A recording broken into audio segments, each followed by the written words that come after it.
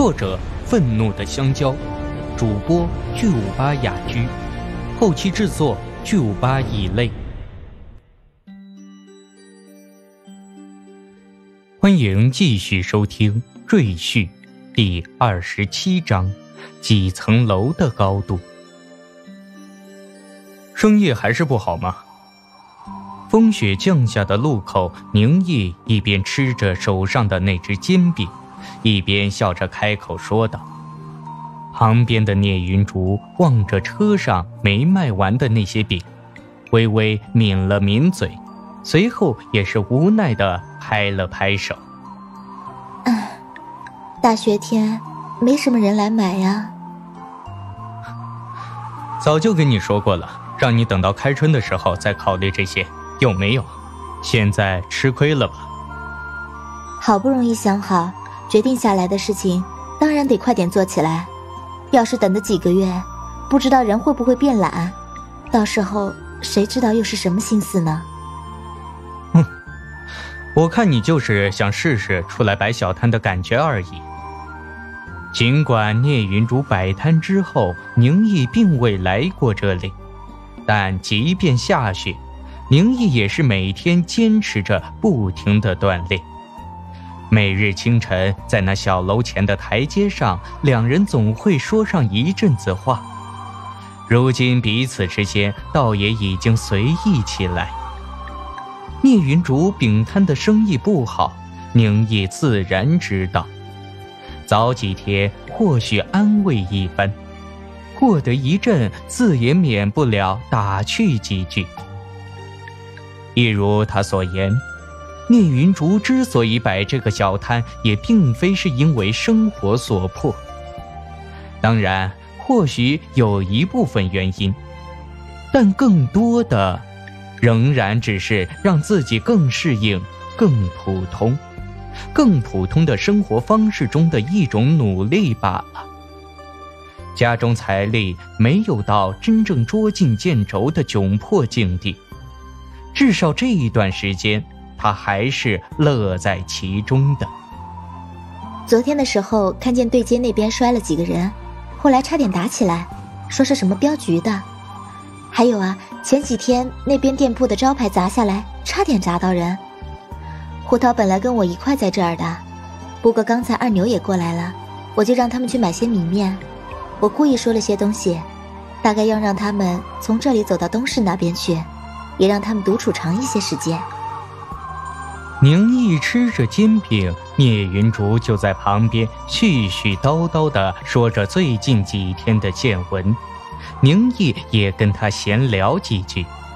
过了好一阵，这饼摊还是没人来光顾。宁毅笑着拍了拍身上的雪花：“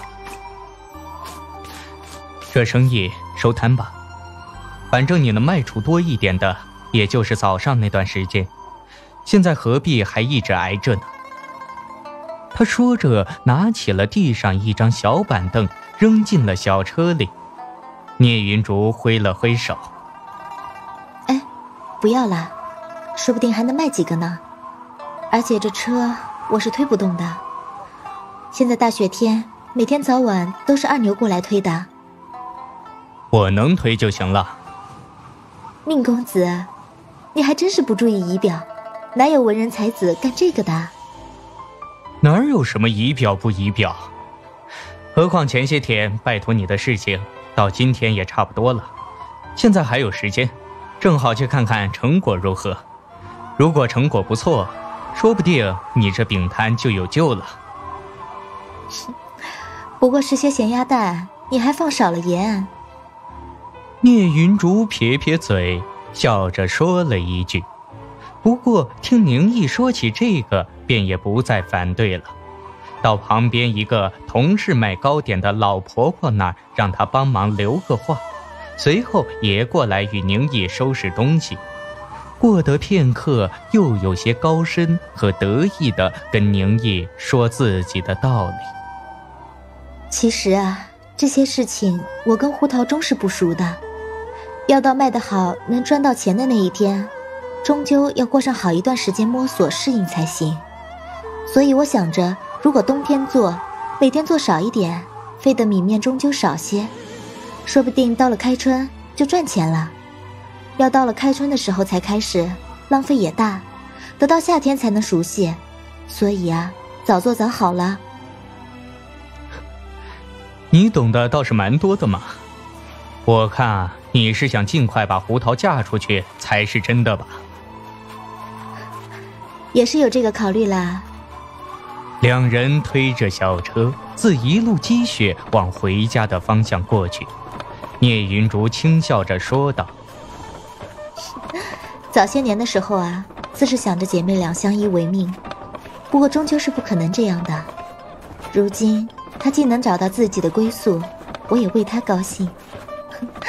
当初啊，她与二牛在一起的时候，还老想瞒着我，后来还是二牛壮着胆子过来求亲，我才知道的。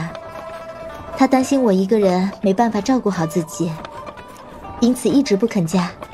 我既然当她是妹妹。自也不能拖累她太久才是呀。怕是你将来有可能与胡桃一块嫁给二牛了。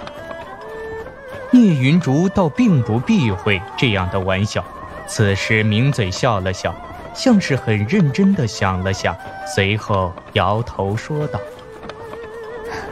怕是不行的。二牛性子淳朴敦厚，是个好人，不过跟我说不上话。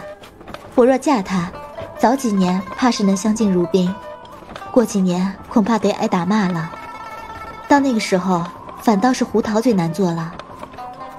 嗯，落差。宁毅点点头，一路前行，穿过热气升腾的喧嚣闹区，居民区被积雪包围的院墙府门，秦淮河边银树冰花、画舫楼船都靠了岸。一串串的冰凌结下来，水电龙宫也是，行人渐渐少起来，两人有一搭没一搭的闲聊着，如同经营了一个烧饼摊，如今收摊回家的年轻夫妻。相公该是四肢不勤的书生腐乳，这种天气出来帮忙，还穿上漂亮的长袍，娘子则勤快而贤惠。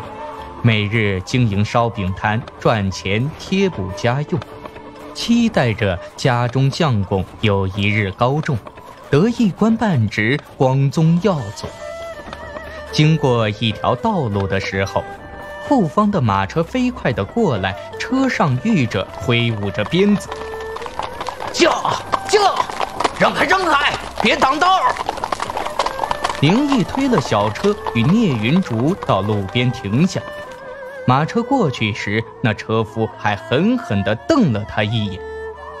他吐了口气，在后面开口说道：“那我还对不起了。”聂云竹低着头，抿嘴轻笑起来，口中轻哼着某些乱七八糟的歌曲旋律。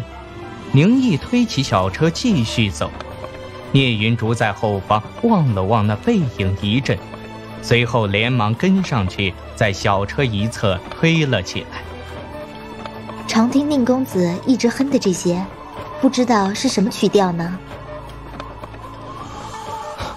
瞎唱，就跟山里人唱歌的小调差不多。嗯，民谣。宁毅形容一番，聂云竹轻笑起来。乡俗民谣吗？这个以前倒也学过呢。嘿，阿力哥为何还不来？这些倒与宁公子的那些曲调不太一样呢。他压低了声音唱了一句，那嗓音清澈如水，颇为悦耳动听。但街上毕竟不是可以唱这些的地方，只是压低声音的那一句，他微微的红了脸。随后捂着嘴笑了出来。宁毅点点头，随后看他一眼。嗯，哎，对了，你唱歌弹琴很厉害，是吧？以往两人交谈，虽然聂云竹自称以色愚人，似乎没有多少芥蒂，但宁毅自然能看出他不喜欢这些愚人的事情。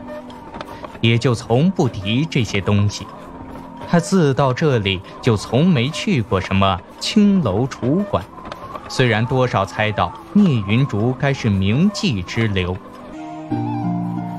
到此时，大抵已经没有什么关系，方才问出这句话来。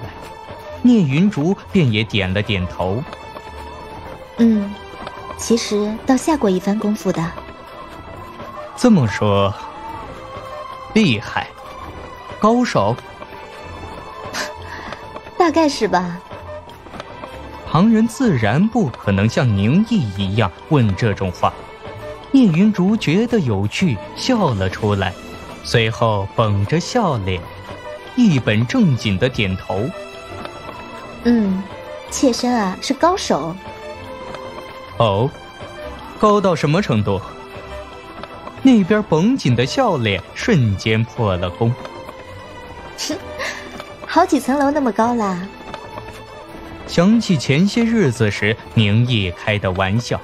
聂云竹如此回答着：“到底干嘛呀？”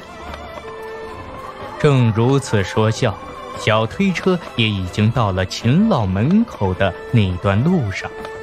倒想不到康贤今天过来，轿子刚在路边停下，秦老也出了门。两人在那边投来诧异的目光，随后笑了起来，倒也不知说了些什么。宁毅挥手朝那边打了个招呼，康贤便朝这边说道：“厉恒这是为何？可要帮忙吗？”他的几个跟班眼下就在旁边，若是要帮忙，自然随时便能过来。宁毅在几米外的地方停下了车，摇了摇头：“没事儿。”随后点了点身边的女子。嗯，聂云竹、秦老、康老，我们没事在那边下过棋。聂云竹脸认一礼，双方稍稍打过招呼。宁毅问道：“康老待会儿也在这儿吗？”康贤点头：“嗯，带来几样好东西，下午该是在这儿。李恒若有空。”待会儿可与这聂姑娘一同过来，赏些书画。宁毅笑了起来。正巧，待会儿我也有些好东西带过来，到时候一起研究一下。如此甚好。待将这些话说完，宁毅便告辞了，推起小车前行，直到转过前方街道的转角。聂云竹方才的笑意也已经停了下来。公子方才问音律之事。哦，我主要是在想，我这里如果有些歌可以唱出来，你是不是能帮忙谱个琴曲什么的？聂云竹点点头，露出一个自信的笑容。嗯，应当是没什么问题的，至少这件事上。各种诗词唱曲也好，公子方才说的乡俗民谣也好，若是云竹办不到的，怕是整个江宁城中也没有几个人能办得到了。哇，真是好几层楼那么高啊！宁毅这才大概能估计到对方的层次，斜着眼睛表示刮目相看。是啊，起码四五层楼呢。掉下来会摔死人，那么高，那我就放心了。宁毅想了想，随后又补充道：“不过歌词怕是有些怪，也只是几个人之间随意唱唱听听就好了，怕是登不得大雅之堂，你得有心理准备才是。”嗯。随后，河边的那栋小楼近了。欲知后事如何，欢迎继续收听《赘婿》第二十八章。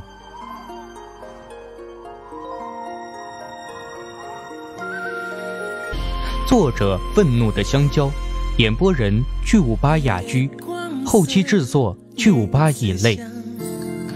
有多从容无思想，忘了你。